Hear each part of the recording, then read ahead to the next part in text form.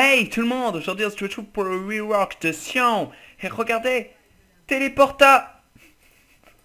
Sion